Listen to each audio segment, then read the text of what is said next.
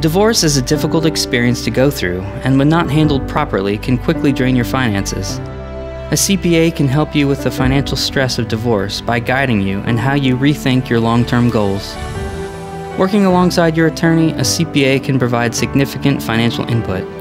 Retaining a CPA may help reduce any divorce related financial turmoil, such as unreceived child support, unaffordable mortgage payments, or tax consequences. As a CPA who experienced financial pressures during my own divorce, I understand how stressful the situation can be. My hope is that you should never have to return to the courtroom later because of finance troubles, but can focus on healing.